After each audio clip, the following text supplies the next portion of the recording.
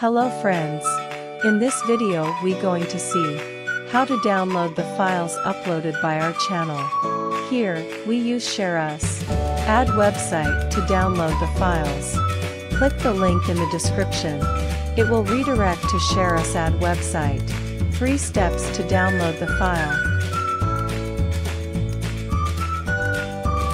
Now you will see, you are in step 1.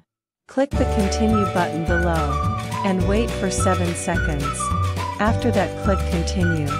Then scroll down to the web page. Click the continue button. And wait for 7 seconds.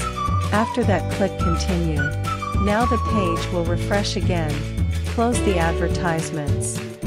Now you will see. You are step 2. Again repeat the process before you done.